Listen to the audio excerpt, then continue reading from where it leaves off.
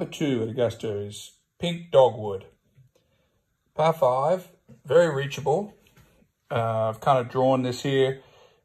There's a little, this bunker out on the right is, uh, oh, you know, 290, 300 yards, but everyone's trying to get this ball to get in this gap and get it to run down this hill. Remember when Louis Oosthuizen got down here and made an eagle a double eagle?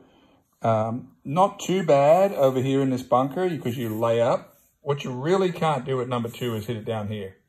This all slopes away, runs down into a little creek down here. Really bad. Now, as we go around the corner here and we look at this green, when the pin is in this back right-hand corner and you have to lay up, you almost hit a snap hook over here if you if you can so that you can play this easy pitch down the hill to this pin. And the same as if the pin is up in the top left corner.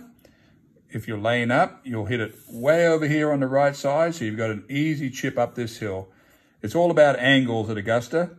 And if they can get it in the gap right here off the tee, definitely can reach. Hardest pin, mm, probably there's a little ridge that runs right through this green. There's a pin that sits right on top of that ridge. It's pretty nasty, but it's definitely a birdie hole. Also, you can go in these bunkers. Um, you know, this bunker is not too bad for this pin here, right into that little pin.